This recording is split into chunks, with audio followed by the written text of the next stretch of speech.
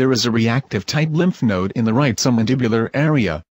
The node is oval in shape and presents a regular hilum.